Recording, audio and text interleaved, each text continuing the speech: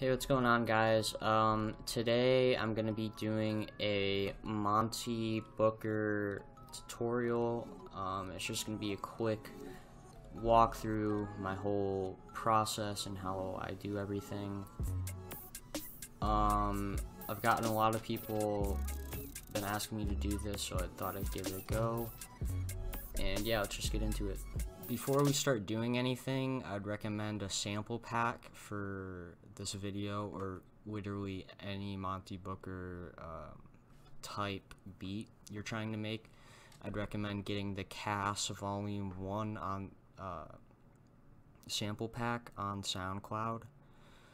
Um, you can find it on the SoundCloud. Um, so you'll be able to get it there. I'll also link it into the description as well if anybody is uh, wanting to uh, purchase it for themselves. Um, other than that, let's get into it. Alright, so first we have the chords. Um, usually when you're making a Monte Booker song, you kind of want to use ninth chords uh, mainly ninth chords. You can use 11th chords, 7th chords, but I definitely recommend ninth chords because for some reason he seems to uh, use those kind of chords a lot. So, well, here's an example uh, progression that we're going to use that will essentially use throughout the whole entire beat. I'll play it.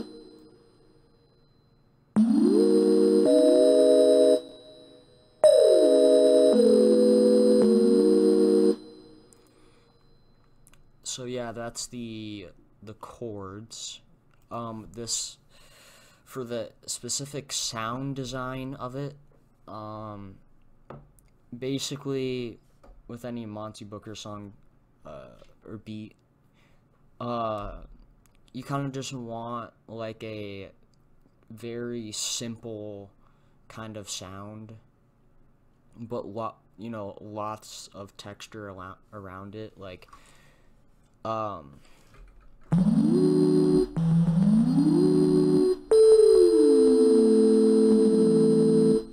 just like a simple sine wave. Um, in Serum, of course. As far as effects go on this, I just put an RC20 on it. Uh,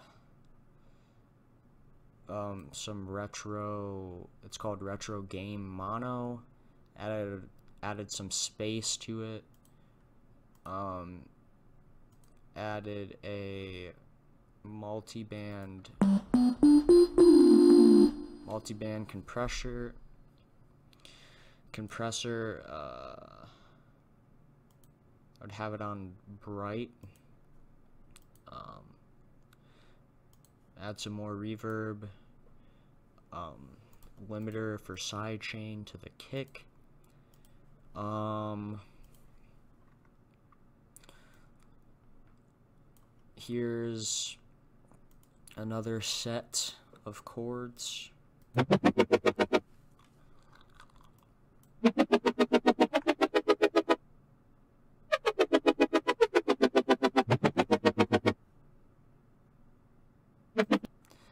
Yeah, so basically this sound is just a uh, future bass kind of synth. So if you have any of uh, any of those on you in Serum, any kind of like future bass like wub sound, uh, I just use that. It doesn't really matter. Um, I didn't really have any effects on here. Um, just side chained it to the kick. Um, next sound. Oh yeah, this is um a pretty big part of what gets you this kind of like glitchy kind of vibe. Uh it's basically what I did is I just used the simple uh, saw wave um, made it into a pluck decreased the decay and sustain and uh, sustain um instead of making it a normal arpeggio, I'd click this random, this question mark right here. Basically, just makes it like random. It plays random notes in a random order, basically within these chords. So it gives you this like kind of unpredictable flume esque kind of sound. Um.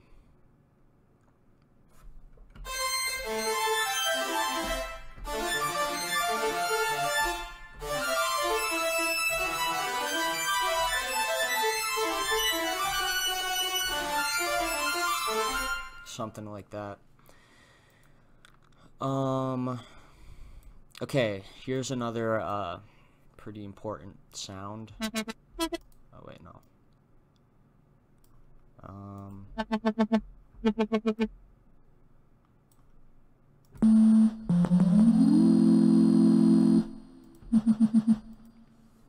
Yeah, this is basically just the same thing. Um, the same sine wave preset, but just with a LFO, uh, with some LFO on it.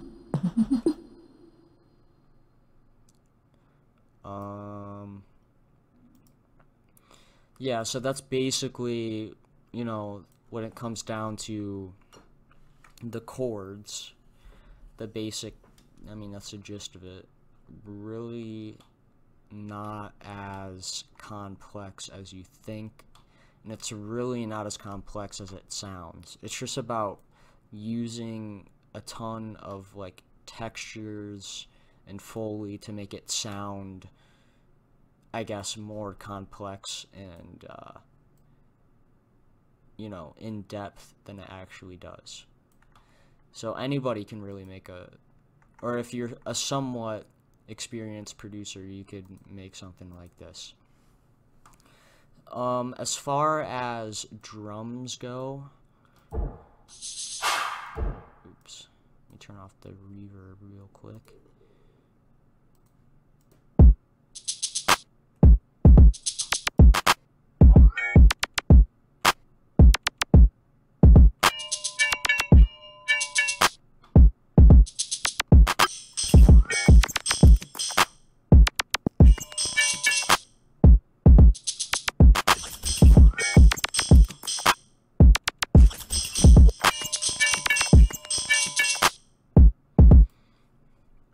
So let's get into that. Um, fairly simple uh, kick pattern, just.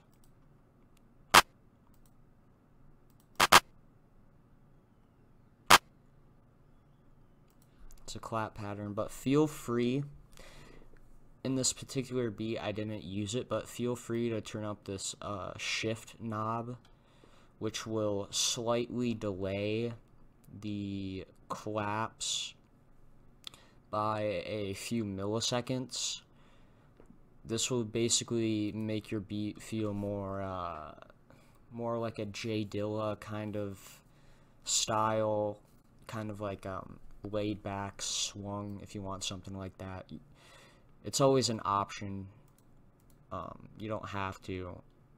I did this with the uh, the perk sounds. Um, so I did it with a few uh, percussion elements, but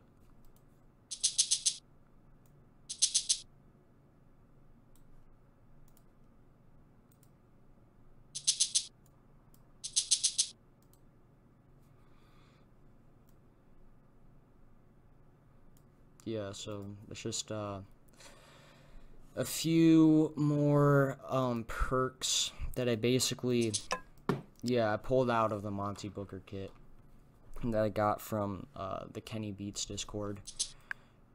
Um, or was it? I, it might have been the Monte Booker Discord. I don't remember, but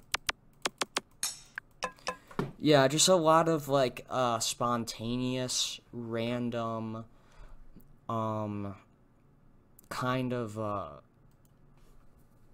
per uh, perk sounds just everywhere. You can get really creative with it. there's really no kind of like set in stone way you should make your drums on a Monte Booker beat. Same thing with this. Uh, it's just like a laser kind of sound that's pretty good. Um, I I'd recommend kind of just uh, messing with the velocity a little bit, you know, to keep things interesting. Um,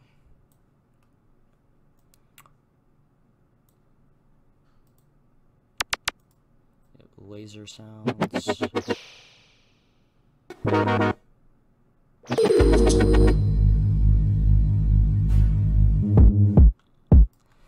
Okay, here's the kick. Um, the kick can like honestly go wherever you feel like it, where it should be. Like it doesn't have to be. Like the kicks in a Monte Booker song get pretty crazy. The kicks in relation with the claps on a Monte Booker beat, you could like do some really, you know, unique stuff. You don't just have to go, you know, have to place a clap every bar. You know, you could just do some crazy variation, but honestly, it's fairly simple for, you know, what kind of beat this is. So, here's all the drums put together.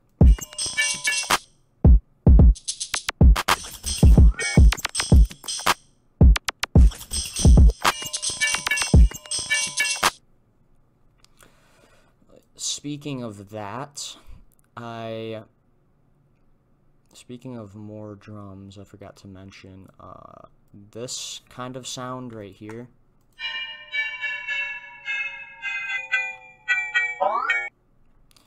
What I basically did for the drop, I just chopped it up, um, kind of a few times around.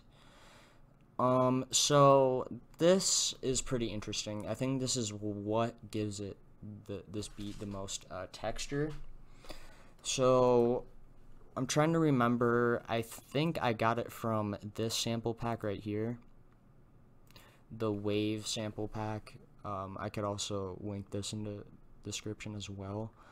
Um, what I basically did is I just on the drum rack, I aligned all of these glitch sounds uh, into 16th notes. Um, so it gives it this really interesting, like, texture, basically. So this is what it sounds like.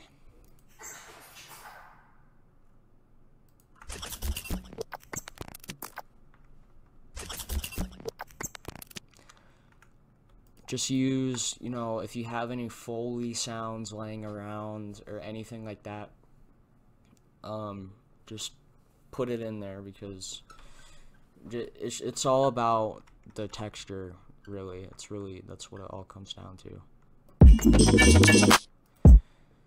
Um, the bass, um, for the bass, it doesn't have to be too crazy um, what it basically does, the bass is just following the uh, bass notes of the chords. Um,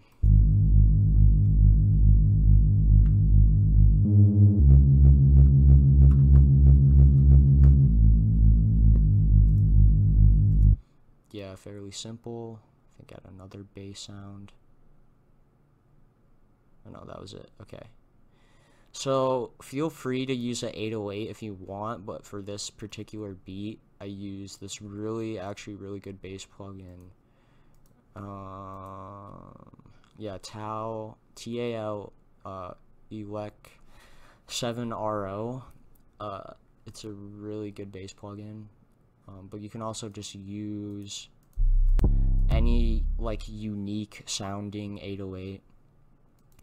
The bait most basses in Monte Booker songs are fairly subtle. Um, so you don't really have to get too crazy with that.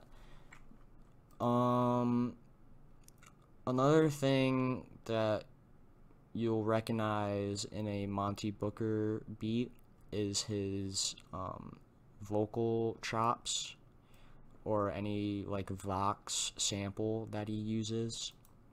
So I'll get into that. Um, I can probably also put the sound in the description as well. Um, yeah. Uh, just like some reverb on here. Other than that, I don't think there's anything else.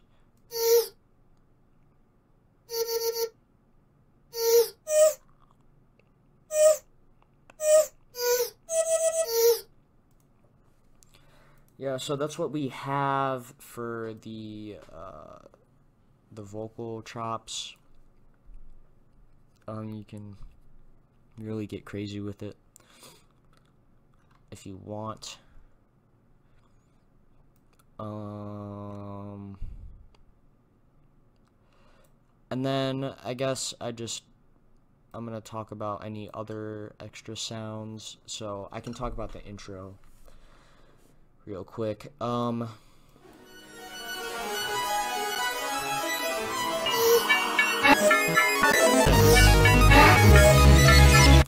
So what the intro basically is is this uh trying to find it.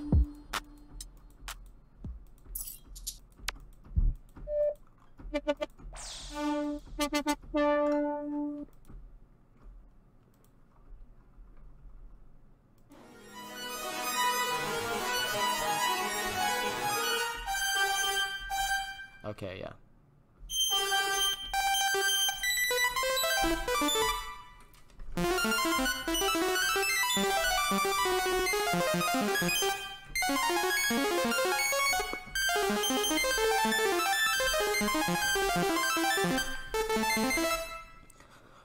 Um, yeah, so what I basically did for the intro is I just kind of extended the same chords that I was using, these ninth chords. You can look at it real quick if you want to copy the progression. But what I basically did is I just extended it out, uh, kind of, you know, to make it more, I guess, atmospheric. I automated um, RC20 I basically all I did was I added basically what I did was I increased the space and shortened the focus to give this more like roomy type of reverb sound. Um, so here's what it sounds like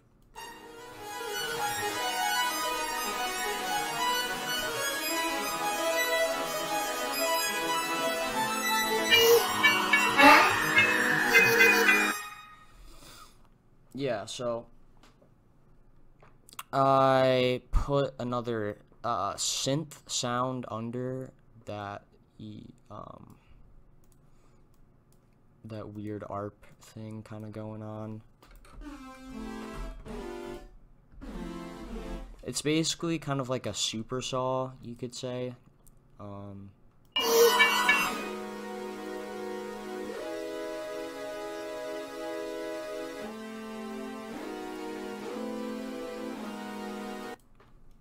yeah um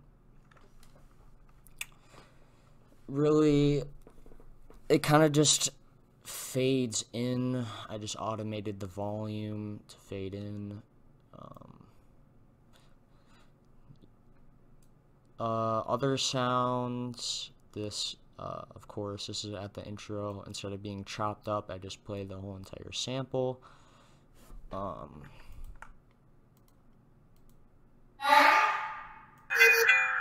Oh yeah, basically just more weird, essentially just more weird uh, vocal vox kind of samples. Um, got it from the Louis Futon sample pack, so again, I'd recommend getting some samples from that. You don't have to, but it's an option. Um,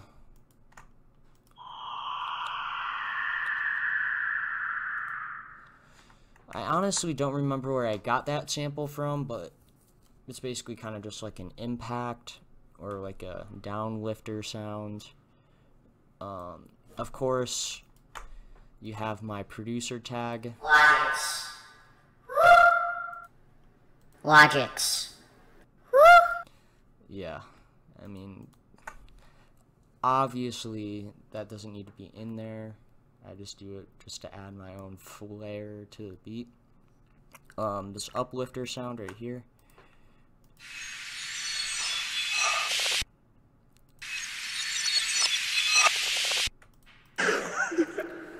reversing kind of sounds or any like weird kind of uh, creepy reverse samples uh, is like definitely something I'd recommend for a Monte Booker beat because I definitely hear stuff like that. Like he reverses a lot of his kicks, for example.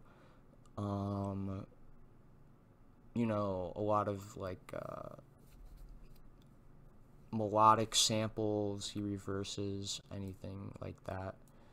So any reverse sound I'd recommend using.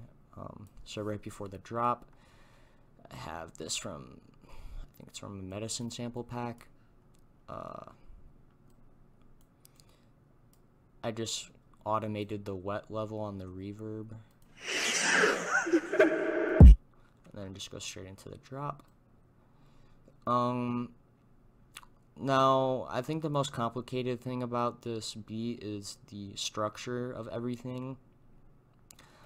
Um, so the main thing that obviously you don't have to copy this beat, you know, note by note, you know, sample by sample. It's more like a general outline for a Monte Booker beat you're trying to create, but what I think I would recommend doing is just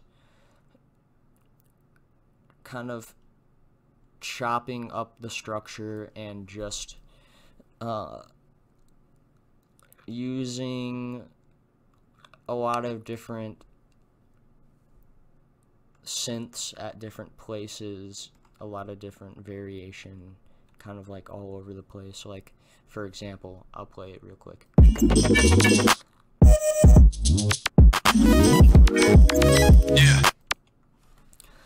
Like how from here this certain chord is just the future bass kind of sounding chord.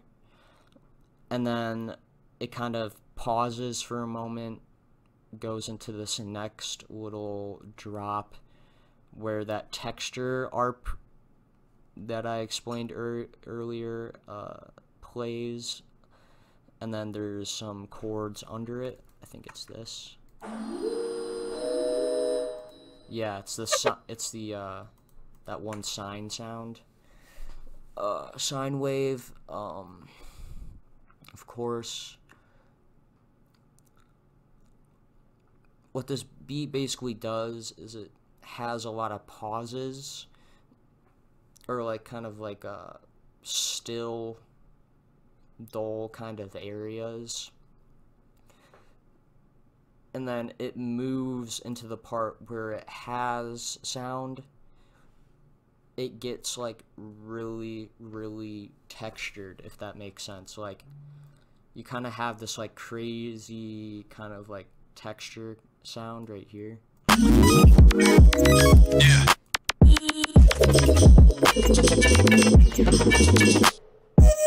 and then you kind of have this pause kind of like not exactly a pause but essentially just like a, a little break. Um, that's basically the main idea of this beat, where essentially that I'm doing is I'm just kind of stopping and going in terms of like uh sound um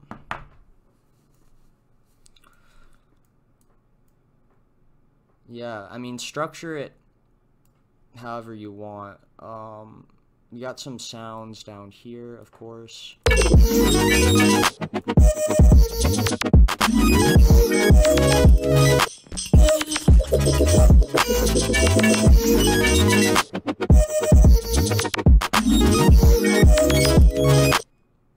More just layered synths and weird textures, arpeggios. Um, so yeah, guys, that's the gist of this beat. If you uh, found this to be helpful, leave a comment down below. Um, if you have any questions, I'd be glad to answer them. Um, I'm sorry if this tutorial wasn't as in depth as I was trying to make it, but I kind of just wanted to do like a more like a an example, you know, to kind of just give you like a I don't know an outline to make Monte Booker style beats in the future. So I hope this somewhat helps.